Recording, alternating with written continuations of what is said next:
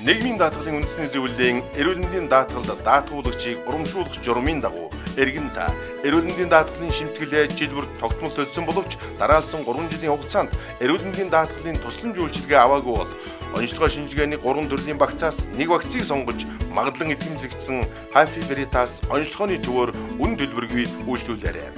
7 хоногийн бүх өдрүүдэд танд шуурхай үйлчлэх зорилгоор шин салбараа нээлээ. Эрүүл мэндэд анхаарал тавьцгаая.